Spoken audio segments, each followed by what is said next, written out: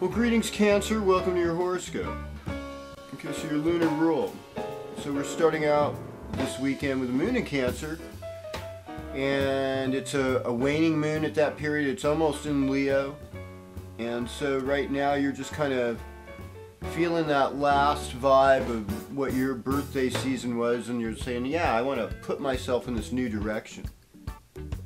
Well, this new moon will be that. It'll be that powerful new direction for you especially where your resources are concerned, where your values are concerned. Getting a new face could be like, you know, dental work or work on your throat or ears.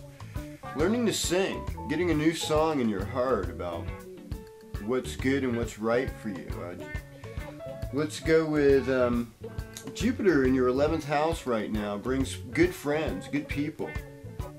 Uranus in the 10th house brings unpredictable trickster energy in the workplace, in the career place. Um, we also can see right now that with Neptune in the ninth house with Chiron, that a spiritual vision is of utmost importance. You get you get a boost this week. You know, Wednesday morning you're going to wake up with Mars in your sign. Mars in your sign is going to key off the cardinal square. You know, Mars is going to be opposing Pluto. While Uranus opposes Saturn, you see that? You got this kind of Aquarian and Scorpionic tinge to everything. Could be extremely progressive. Could be very underground. Could be very explosive though. And Plutonic, so it's like, how are we dealing with our relationships? You know, what limits do we have at our home?